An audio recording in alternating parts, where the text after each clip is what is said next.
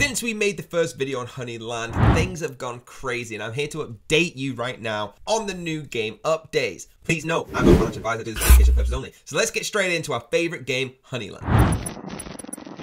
So guys, we're back on honey.land and I'm super excited. Please remember there is a full review video on this channel. This is just an update on the generational mint. Now it's on December the 21st and it's going to take place on Magic Eden. Okay, it's the cheapest mint they've had yet and we'll talk about that a little bit more in a second. A quick 30 second overview of what this game is now, okay? You are a honey bee. Now, you have been executed from your land and you're trying to get back involved. There's all different parts. You can earn land, you can just earn NFTs of your characters, different add-ons, things like that. And the whole point is you collect these hexagons, all right? It's a AAA game, use traditional Web 2 fundamentals with seamless Web 3 onboarding experience, and you can just get yourself inversed in here. You can either go on your own little path or follow the journeys of others. Very, very important that you go onto the video on this channel and watch the full overview.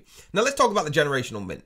5,500 piece land collection, 2,000 piece sold out all done all right now it's gonna have up to three separate mints prior to the launch other mints have happened and been so successful like we spoke about but the generational mint is the main focus of this video because that's what we are owning in on right now. You need to be getting yourself involved because i see the generational mint being just as big as the genesis mint as the plots of universe and lands mint as well that happened in september and june. So with them cheaper bees you're actually getting a collection heading into the game launch. It's a 6000 piece collection, all right? 5,500 generation 1 to 3 bees, 500 queens, 500 Mad Honey Vials. This will carry out a unique in-game utility. The mint price is to be announced. But guys, you know how powerful this game is already through the other videos and everyone that's getting the hype. So this is going to blow you away. Hit that join Discord button and get involved right now. Because if you get involved right now, you're actually going to get involved in the alpha, right? It's live, open to the public. All you got to do is hit that Discord button, like I've said. It's playable, downloadable links on mobile as well. Directing you to their Twitter, 17.8 thousand followers. Give them a massive follow from us.